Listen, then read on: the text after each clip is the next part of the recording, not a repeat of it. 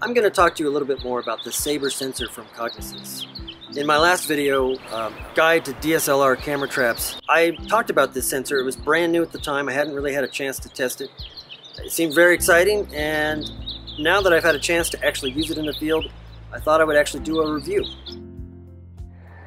Among the sensors I've deployed in the field, this is one of the most well-designed and has the most feature-rich options I've ever seen. It uses an invisible laser, LiDAR. It uh, can be quick and easy to set up. It's got an auto range button and can be set up in a matter of seconds. It also has the ability to generate its own Wi-Fi. And if you download a mobile app or use the computer app, you can get into a host of features that will let you really customize how to use this particular sensor. This will not be an in-depth review. If you want to know about all the functions and features, you're not going to learn it in this video. This is really just about my experience using the sensor in the field. Now when I first was thinking about using the sensor, I was thinking about using it in a, a long-term camera trap. And what I think of long-term is a week or more. And I've, for a number of reasons, found that this sensor is not ideal for a long-term deployment. The internal battery just doesn't last as long as I would like, and bringing an auxiliary battery makes the whole system and setup quite a bit bigger and more complex. However, if you want to set it up for just a night or three, this sensor is perfect. You can really fine tune the sensitivity. If you want to photograph something large and slow, you can slow down the laser pulses to be less sensitive. If you want to photograph something super fast and small, you can fine tune it to be really sensitive. One of the features I really like about this sensor is, is it has like a window range setting. So you can have a very specific window in space in which your camera will be triggered. If it's too far away, it won't be triggered. If it's too close, it won't be triggered. But in this direct window, it will be triggered. That's kind of cool, and it's one of the only sensors I know that can actually do that. The exterior of the unit is pretty well designed as well. It's weatherproof. It's got uh, a fairly understandable small menu for quick setups, and it has a quarter 20 mount on the bottom for quick deployment. Probably my favorite use for the Sabre is photographing something like bats.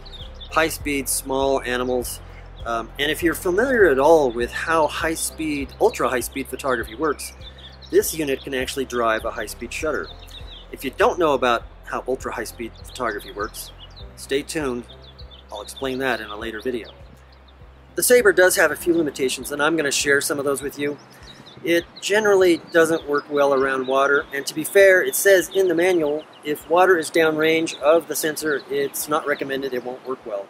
But I found even when I'm trying to shoot um, a trigger point or a laser above water, like say to photograph bats coming down to a pond to drink, that it just doesn't work. Um, there's something about that that doesn't work at all. Um, if I move the, uh, the sensor up, it'll start to work, but you know, I want to be able to deploy it fairly close to the surface, maybe two inches above. It doesn't work for that.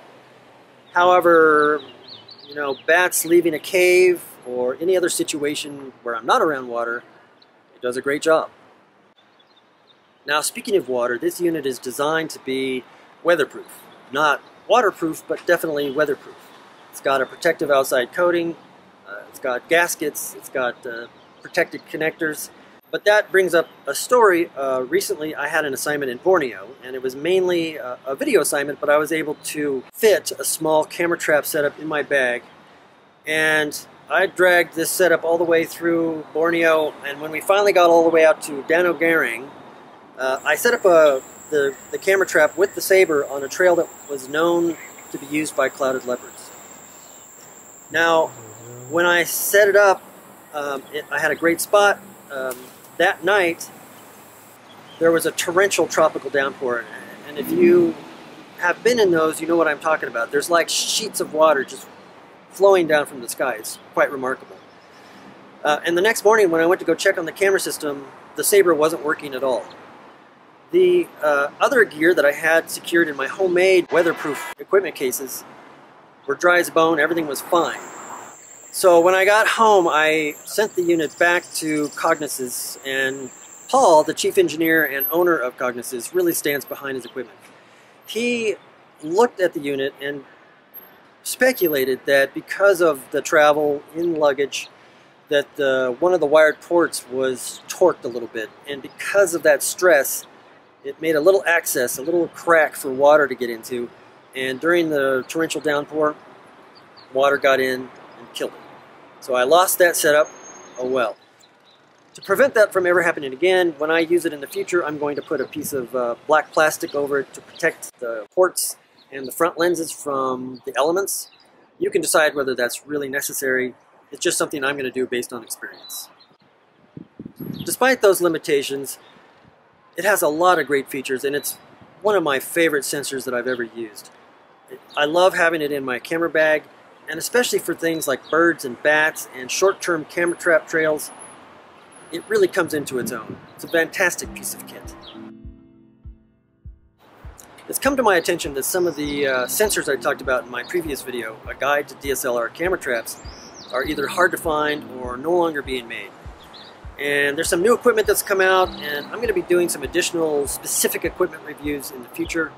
In the meantime, look for my next video, where we're going to go to southern Oregon to photograph, or at least try to photograph, Pacific Fisher. A few unexpected things happened, and it was quite an adventure. Hope to see you then.